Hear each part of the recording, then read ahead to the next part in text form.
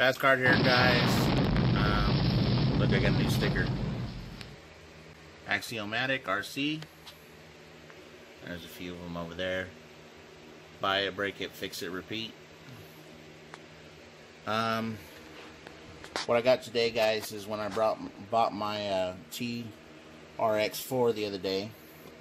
They sent this set of rims with these uh, Super Swampers, and these are the Chinese knockoffs.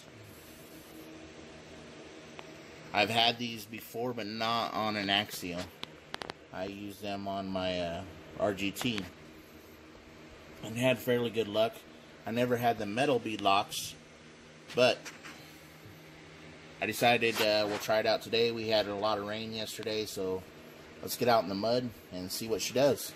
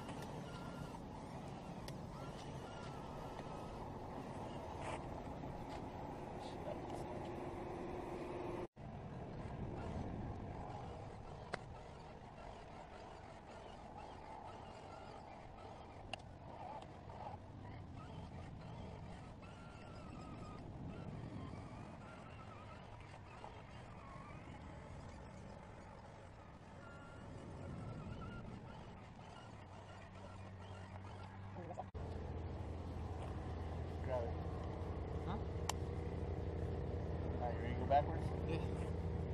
Alright, one, two, three, four.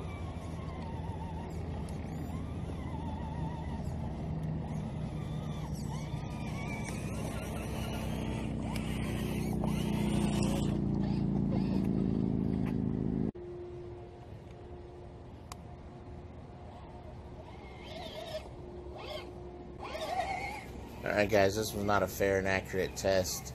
Um, the mud was just too deep but they did all right. So, as always, guys, like, comment, and subscribe, and uh, thank you for watching.